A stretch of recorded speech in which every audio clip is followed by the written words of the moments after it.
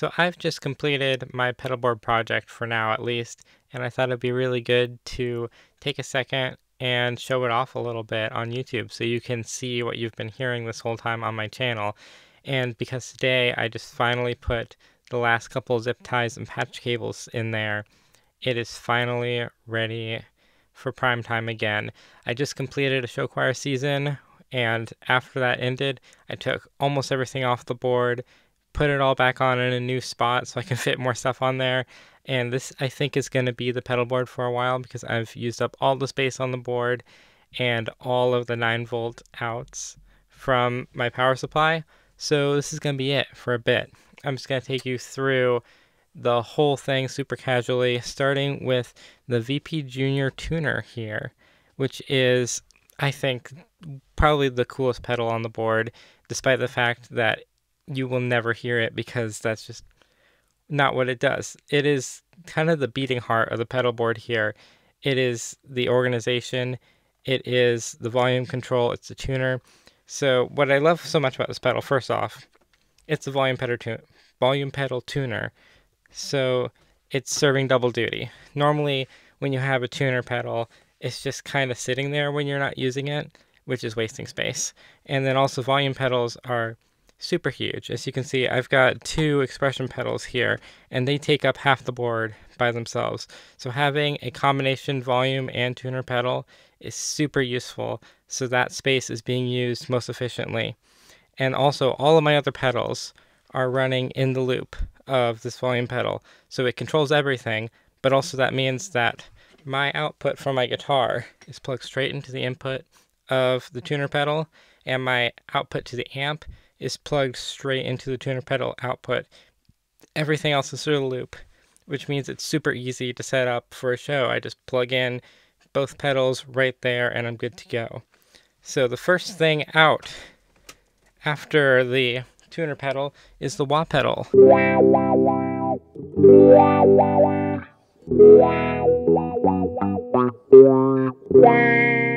Which is, you know, absolutely essential.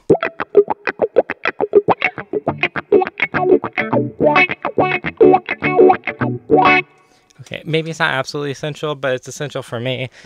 I've been using it a lot less over the years, but it's kind of like salt or a good spice that you just you can't put on everything, but just a little bit goes a long way and I probably use it about on average once per show for one song, but it there's just no replacing it. This is a a, a uh, Crybaby classic. I think probably got it 10 years ago maybe, but it's it's just a wah. And I love how simple it is, but it's also we just went from the strongest pedal on the board to the weakest link pedal on the board. The shape is super inconvenient, the slope sides are terrible. There's no LED to show if it's on or not. So the form factor is awful, but the sound is amazing and it's never leaving the board unless I find a better a better wah pedal. Uh, I've used, briefly used, a Morley optical wah, and I'm tempted, but I don't have space on the board. They're huge, and I do kind of like the cock wah thing, which you can't do. You can't just like set it. You can't do that with an optical wah, obviously, because there's no button. But on the other hand, pressing the button down does kind of take a lot of force. So, of all the pedals on the board, this is probably the weakest link and might get replaced eventually, but for now it's doing the job just fine. Now out of the wah pedal, I've got Tube Screamer, which I'm using as a, mostly as a boost-ish, so it's definitely not clean. I have the drive rolled all the way down, but you can hear, like, compared to the clean signal, there's quite a bit of gain there, um, just signal gain, not talking like high gain distortion, but it gets louder. And I really like the way the Tube Screamer kind of colors the EQ a little bit. It adds a bit of a mid thing that's really nice, uh, especially with a guitar like this that is very clean normally. There's not a lot there's not a lot of character to it, but like in a good way. I say this guitar kind of rings like a bell, and I can mold it to whatever sound I need. This is a good example of that. So I'll use that a lot for kind of that edge of breakup, kind of trying to simulate a small low headroom amp when normally what I use is a high headroom. No, normally I'm using a Crush Super Orange Super Crush. Right now I'm plugged into the Boss because that's my recording rig. But for this, it just adds that little bit, little bit of hair. Now if I want a lot of bit of hair, we go to the DS1, which is kind of my rock distortion sound.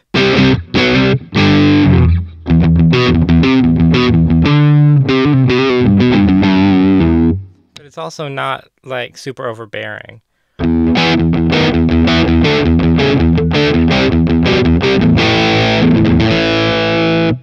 So I, I use this on its own quite a lot for pop stuff.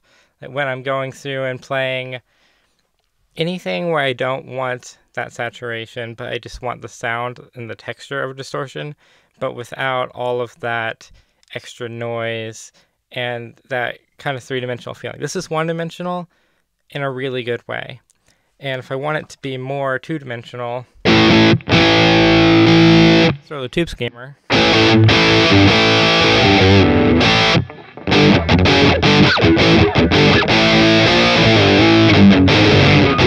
Yeah, something like that. And those two pedals combined give me a pretty good range of possible sounds. I love combining them. I love using the Tube Screamer.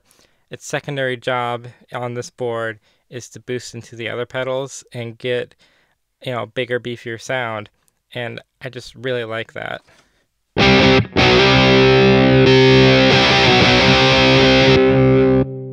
So yeah, the, the Boss DS1 is the newest pedal on the board, but it's quickly becoming a favorite. I'm still figuring out exactly what settings I like to use on it, but I'm keeping the tone and distortion about in the middle, and the level obviously is going to be all the way up because I don't want my signal to get quieter. I want it to get louder. Now, if that's not enough, and occasionally this is not enough, I'll go to the second pedal that I ever bought, which is the Metal Muff.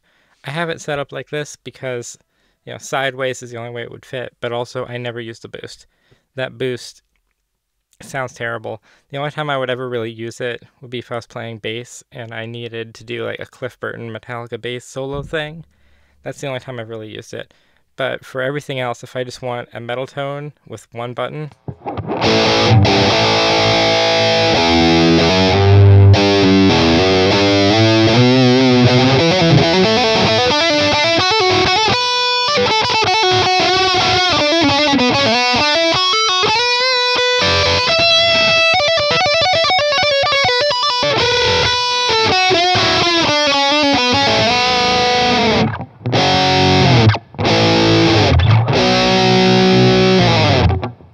it just it does that. It it does one thing, but it does it really well.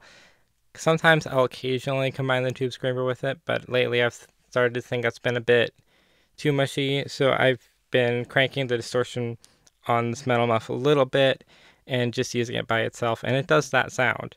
It does one thing and does it well, and that's all I can ever ask. So next up is MXR Phase 90.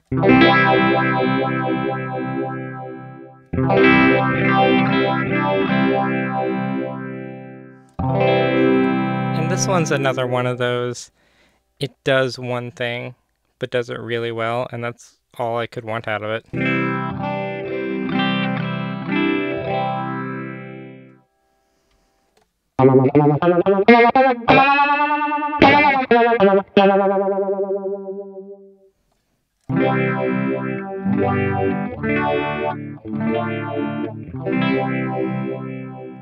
So that's basically the pedal board. Um, sometimes I'll combine some other pedals. Like I think the metal muff and the wah sound really particularly good together.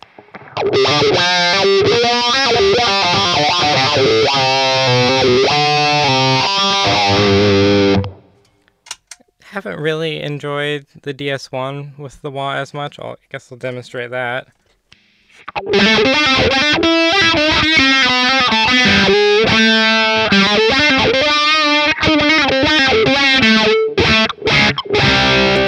That sound doesn't really do it for me, but the metal muff, it does it.